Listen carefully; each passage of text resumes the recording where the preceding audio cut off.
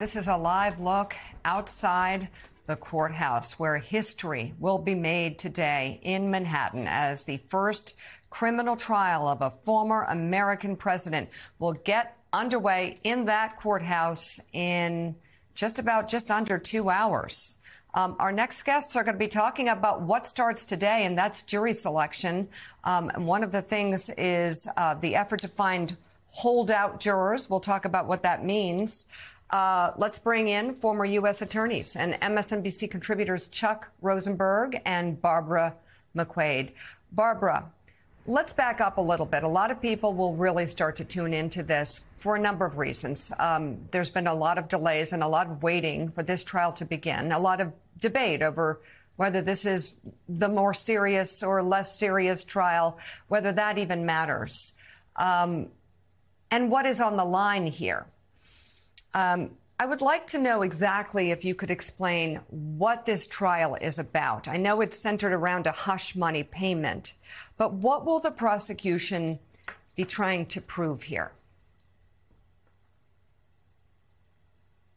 So, Mika, the indictment alleges that Donald Trump falsified business records, which is a crime in itself under New York law, but it's a misdemeanor. It becomes a felony, however, if those falsifications are done to conceal some other crime. And the other crime that is alleged here is campaign finance laws. So it is the theory of Alvin Bragg that these records were falsified on the eve of the 2016 election, also at the same time that the Access Hollywood tape had been revealed to the public, in which Donald Trump, of course, spoke very disparagingly of women, and that the need to, to conceal these records was to promote his campaign and prevent the disclosure of these very damaging allegations that otherwise would have come out without the payments to Stormy Daniels. They were instead uh, uh, booked as if they were legal fees to Michael Cohen, when in fact it was reimbursement to Michael Cohen, who had paid this hush money.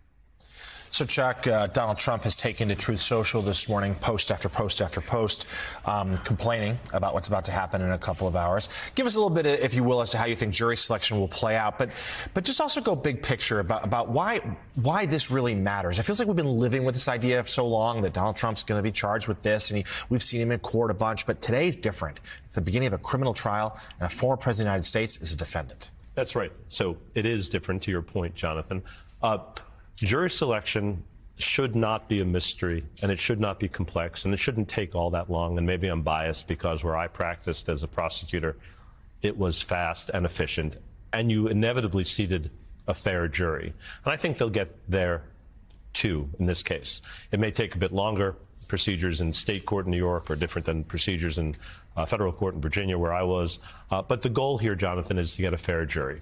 And you can be fair if you're a Democrat or a Republican. You can be fair if you watch Fox or MSNBC. People are remarkably good at putting aside whatever opinions they may have, whatever preferences they may have, and as the judge will instruct them, focusing on the facts adduced at trial and applying the law as the judge instructs. Uh, so I think a lot of this is a, a, it's a bit of theater. It's a bit of a dance. Mm-hmm. The faster we get through this process uh, and to trial and to adducing the evidence and calling witnesses and introducing documents, I think the better off uh, we'll all be. And Chuck, some of the details along the way here. Obviously, Donald Trump is under a gag order. There's probably running bets on whether or not he breaks that or already has. Mm-hmm. Um, the concern, of course, is when he does that, he endangers the lives of people uh, and drums up anger, um, uses it to his political advantage. But really, it's for the safety of the people involved with this trial. Um, what are the consequences if he does that? I mean, we haven't really seen consequences play out on the breaking of gag orders along the way with Donald Trump. Uh, will this be different?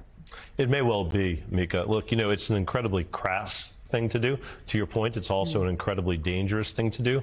And it also, if you just take a step back, makes absolutely no sense. It's like if you're a pitcher and you're walking out to the mound in the top of the first inning and you stop by home plate to tell the umpire that he's stupid and corrupt and, and, and incompetent, I'm not sure you're going to get a lot of close calls over the balance of the game. Mm-hmm. So, th- as a strategy, it makes absolutely no sense to me. And by the way, if he's convicted, this very judge, who he has been castigating, and the judge's family, who he has been criticizing publicly, this is the guy who's going to sentence him.